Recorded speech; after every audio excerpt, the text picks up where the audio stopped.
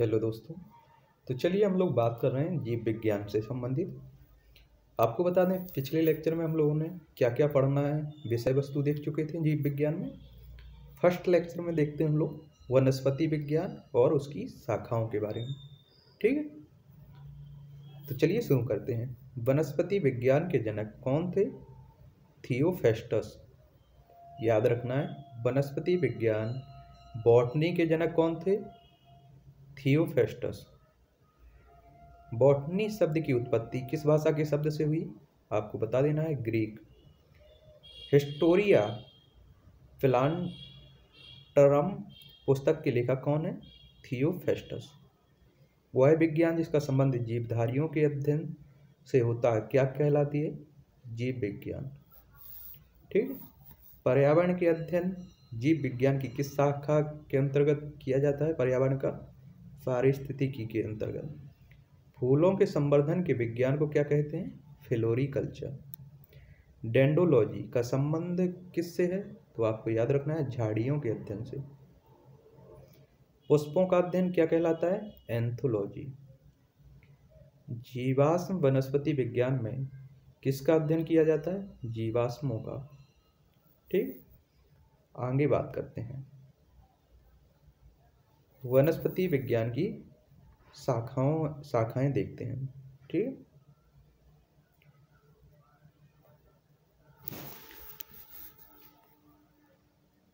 एग्रोएस्ट्रोलॉजी किसे कहते हैं? तो आप लोगों को याद रखना है, घासों का अध्ययन एवं पालन होता है इसमें।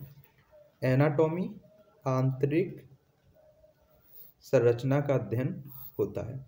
एंथोलॉजी में पुष्पों का अध्ययन होता है। बैक्टीरियोलॉजी जीवाणुओं का अध्ययन किया जाता है इसमें। बायोलॉजी बायोफाइटा, फाइटा का अध्ययन होता है। कैसिडियोलॉजी पादप में रोज रोगजन्य गांठों, पादप कैंसर का अध्ययन किया जाता है। साइटोलॉजी कोशिकाओं के अध्ययन के अध्ययन किया जाता है। डेंडोकोनोलॉजी वृक्षों की आयु का अध्ययन किया जाता है। डेंडोलॉजी वृक्ष एवं झाड़ियों का अध्ययन किया जाता है। इकोलॉजी पौधों का वातावरण से संबंध का अध्ययन किया जाता है इसमें। इकोनॉमी, इकोनॉमिक बॉटनी आर्थिक महत्व के पौधों का अध्ययन किया जाता है।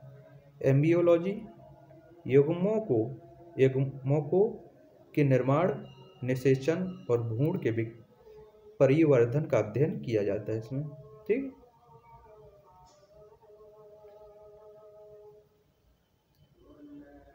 फिर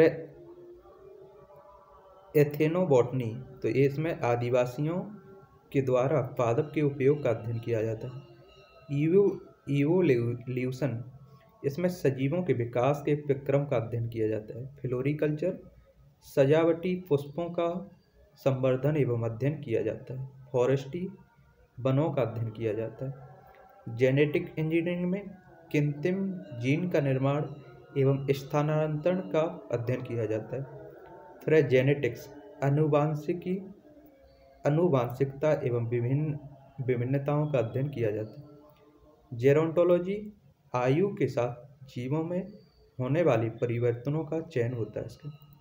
हेरिडेटी तो पितक लक्ष्यों के संतति में पहुँचने का अध्ययन होता है इसमें, ठीक है? लाइकेनोलॉजी, लाइकेंस का अध्ययन होता है इसमें। ठीक है, याद रखो। फिर है लेमनोलॉजी, झीलों तथा अलवड़ीय जलीय पादपों का अध्ययन होता है इसमें।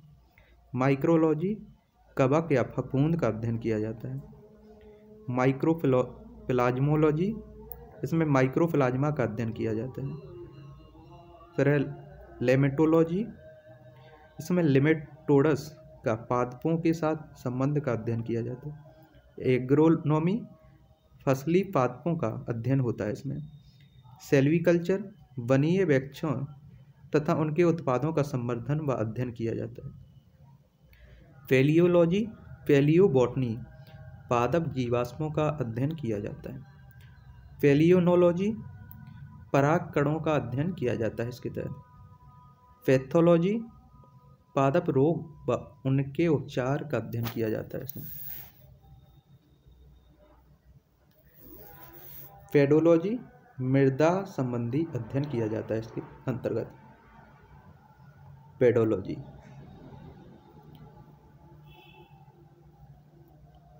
फिर पैरासीटोलॉजी पोषिता तथा परजीवियों के संबंध का अध्ययन किया जाता है। फाइकोलॉजी, शैवालों का अध्ययन किया जाता है। फार्मोलोकोलॉजी औषधीय पादपों का अध्ययन किया जाता है। फिजियोलॉजी, विभिन्न पादक जैविक क्रियाओं का अध्ययन किया जाता है। पोमोलॉजी, फलों का अध्ययन किया जाता है। टेरियोडोलॉजी, टेरिफ, टेरिडोफाइटस का अध्ययन किया जाता है। फाइटोजियोग्राफी, पौधे के वितरण एवं उनके कार्डों का अध्ययन किया जाता है। फिर स्पेस बायोलॉजी अंतरिक्ष और वायुमंडल में स्थित पादपों का अध्ययन किया जाता है। स्पर्मोलॉजी, बीजों का अध्ययन किया जाता है। टेक्सोनोमी, पादप वर्गीकरण का अध्ययन किया जाता है इसकी तरह ठीक है?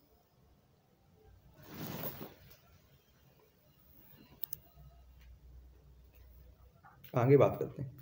वनस्पति संवर्धन से संबंधित विज्ञान की शाखा को क्या कहते हैं? हॉर्टिकल्चर।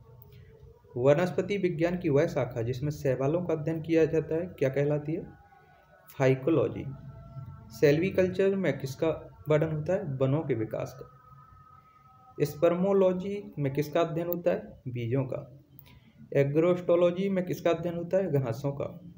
फीडोलॉजी में किसका अध्ययन होता है? भूमि का। अनुवांशिकता एवं विभिन्नता के बारे में जानकारी देने वाले वनस्पति विज्ञान की शाखा को क्या कहते हैं? अनुवांशिकी। अनुवांशिकी। पौधों के नाम देने वाला विज्ञान क्या कहलाती है? वर्गिकी। फलों का अध्ययन क्या कहलाता है? पोमोलॉजी। पराग कणों का अध्ययन क्या कहलाता है? पेलिनोलॉजी। संसार में पौधों के वितरण का अध्ययन क्या कहलाता है? फाइटोजियोग्राफी। साग सब्ज़ी उत्पन्न करने वाले पौधों का अध्ययन क्या कहलाता है? Olericulture. वार्षिक वलयों का अध्ययन क्या कहलाता है? डिंडोकोनोलॉजी। सजावटी वृक्ष तथा झाड़ियों के संवर्धन से संबंधित अध्ययन क्या कहलाता है? आर्बोरी कल्चर पौधों की आंतरिक संरचना का अध्ययन क्या कहलाता है? शारीरिकी। माइक्रोलॉजी में किसका अध्ययन किया जाता है? कवक का। एग्रोफॉरेस्ट्री से क्या तात्पर्य? कृषि के साथ उसी भूमि पर काष्ठीय बारहमासी घास बारहमासी वृक्ष लगाना।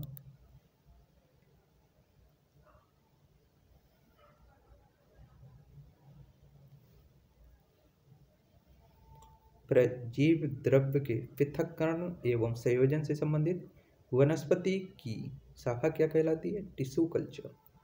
आदिवासी द्वारा पादपों के उपयोग का अध्ययन किस शाखा के अंतर्गत होता है? तो आपको रखना है एथिनो बॉटनी सूक्ष्म जीवों का अध्ययन किसके अंतर्गत होता है? माइक्रोबायोलॉजी। सजीवकों में कार्बन, कार्बनिक पदार्थों का अध्ययन किसके अंतर्गत किया जाता है? बायोकेमिस्ट्री। फल, सब्जियों तथा उद्यान पादपों का संवर्धन व अध्ययन किसके अंतर्गत होता है? हॉर्टिकल्चर। विभिन्न विकिरणों का पादपों पर प्रभाव तथा उत्परिवर्तन का अध्ययन किसके अंतर्गत किया जाता है? रेडिएशन बायोलॉजी अनुवांशिकी का पिता किसे कहा जाता है? G, J Mendel. पादप रोग विज्ञान के जनक कौन है? A, J Butler. पादप क्रिया विज्ञान के पितामह किसे कहते हैं? Stephen Hales. कवक में पोषण किस प्रकार का होता है? अवशोषण द्वारा।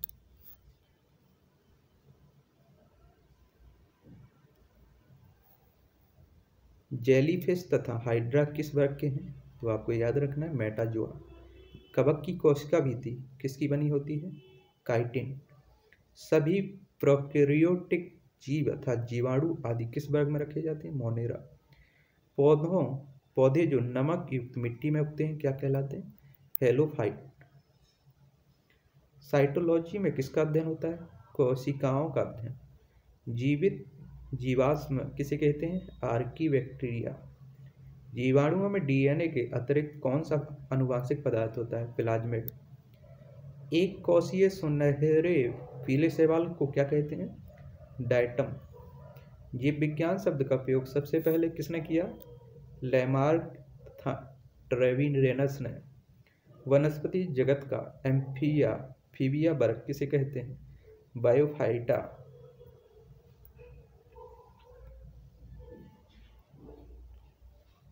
बायोफाइटस वर्ग का सबसे बड़ा पौधा कौन सा है? डोसेनिया। फर्न किस फर्न किस वर्ग का उदाहरण? टेरिडोफाइटा। बजरी रेत में उगने वाला पौधा, पौधों को क्या कहते हैं? सेमीफाइटस।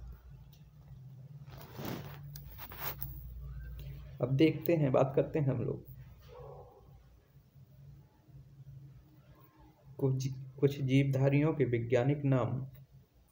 मनुष्य का होमोसिपियंस मेढक का राना टेग्रीना, बिल्ली का फिलिस डोमिस्टिका कुत्ता का कैनिस फैमिली फैमिलीरिज, गाय का बॉस इंडिकस, मक्खी का मॉस्का डोमेस्टिका, आम का मैंग, मैंगीफेरा इंडिका, धान का ओरेजा सतीवा।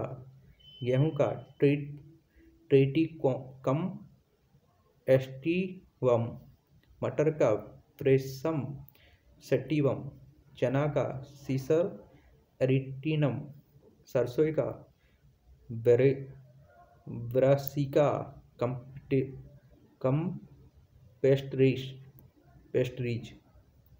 ठीक है तो चलिए ये था पहला लेक्चर हमारा। जीव विज्ञान का। अगले लेक्चर में बात करेंगे हम लोग। पादप जगत का वर्गीकरण देखेंगे। ठीक है?